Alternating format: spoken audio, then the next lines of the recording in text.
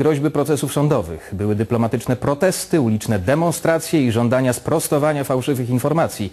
Efekty jak na razie nie są zadowalające, bo określenie polskie obozy śmierci nadal pojawia się w amerykańskich mediach. Dlatego nowojorska Polonia zorganizowała kolejny protest, tym razem na Manhattanie.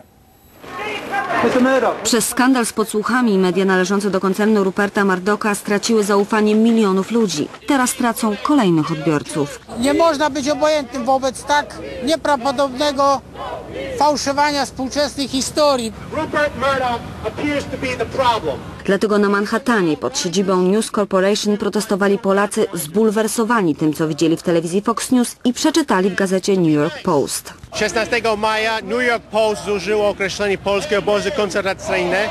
W zeszłym roku to było Wall Street Journal. Okazuje się, że New York Post, New York Post zrobiło to trzy razy. Takie protesty już były i wydawało się, że odniosły skutek. Niektóre z amerykańskich mediów, np. New York Times, zmieniły stylebook, czyli podręcznik poprawności stylistycznej dla swoich dziennikarzy, tak by nie stosowali określeń fałszujących polską historię. Nie sądzę, aby dziennikarze, którzy pokończyli studia wyższe, nie mieli podstawowej wiedzy na temat e, tego, kto był ofiarą w czasie II wojny światowej. Dlatego takie protesty jak ten mają jeszcze jeden cel no uświadamiać. Podziwiam protestujących za wytrwałość w walce o prawdę, za to, że tu stoją. Oni edukują ludzi, edukują też mnie. Jestem dumna, że mam polskie korzenie.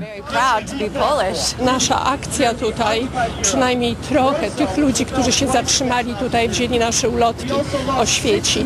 Enough is enough. Od dziewięciu miesięcy trwa zorganizowana przez Fundację Kościuszkowską internetowa akcja zbierania podpisów pod petycją z żądaniem, by amerykańskie media przestały używać określenia polskie obozy śmierci.